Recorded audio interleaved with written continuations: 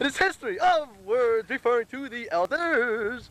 Red, let me ask you something. if your hair was yellow, would we call you yellow? I don't know. Now out, out onto our history. Red, stemming from the word redeemable. Also red D without the A. Or how about ridiculous? Because red, what I'm saying is utterly ridiculous. Red, the Iron Man. Iron, stemming from ironically. Jeez, isn't it ironic that iron is the first four letters of ironically? Jesus. Mikey D, thou say you are so big, stemming from bigger and to a greater degree, biggest. Or possibly beguile for the latter. You're always absent. Thou must eat with family. Hmm. Possibly because absent comes from, yes, Mike, absolutely. And if you're absent, you're absolutely not present. In which present stems from presentable. You certainly cannot present yourself if you're absolutely presentably absent. Jesus. Rich, I mean reach, I mean rich, rich, rich, rich, rich, and reach end with the same letters, which means if it foretakes a double negative reciprocalism, meaning if you have two fifths, you take the reciprocal, you get five halves, no problem here.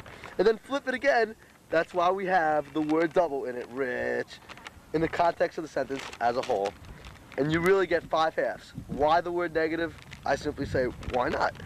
Reach stemming from reaction and maybe reckless or possibly preacher who reaches out to his audience. Rich, uh, sorry to say, but you'd have trouble with that one. The first of the elders is a man named Adam Simon, also known as Red, due to his flaming, fiery, flamboyant, fabulous, famous red hair. Red is well known for having tremendous tolerance for injuries. Throughout three varsity sports, Red has remained practically injury-free. As Dr. Rosenrosen once stated, Red has bones of steel. Thus, he is referred to by close friends as the Iron Man. Go. Red was an outstanding soccer player at Eastchester High School. Red was a scoring machine at Eastchester High School. Red set many records there.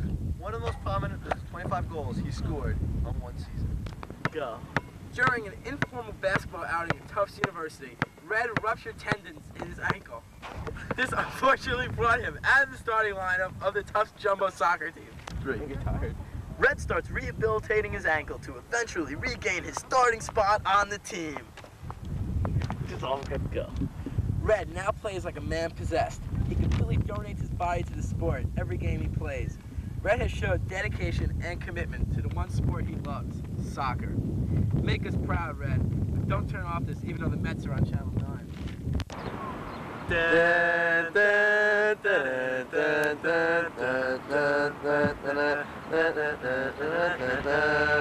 The question still remains, could Mike D'Angelica have been a force in the NBA at the age of 19?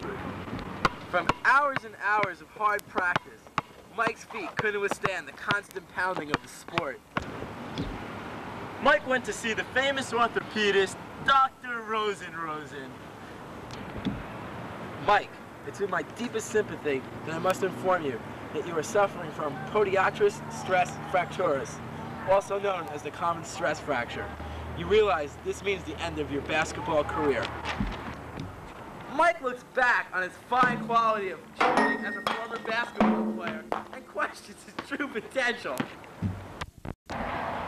Mike is now a dominant force on the Tufts Jumbo rugby squad. On the off season, Mike likes to build houses and dental offices to keep in shape for an illustrious rugby career. Enjoy your new house, Mike. You've earned it. P.S. I hope the ceilings are high. The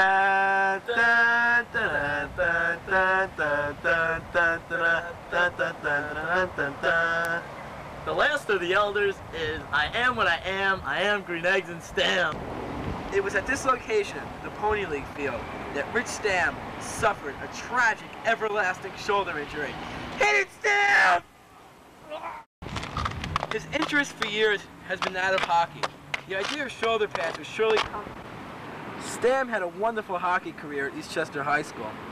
Due to the fact that he won various honors and led his Eagles to many victories, he was heavily recruited by many colleges.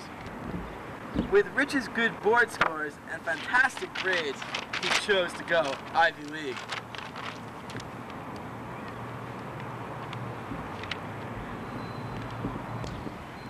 Rich played JV hockey for Brown. but was shocked by the number of talented players whose superior skills matched his own. He couldn't hack the rigorous Brown hockey program and chose to hang up his skates after playing for almost two complete decades.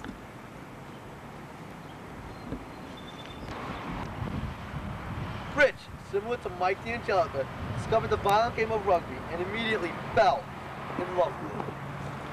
Rich is a truly talented rugby player and literally runs over people for Brown. Now, Rich made All New England his first year playing. Rich, keep up the good work and keep reaching for your goals.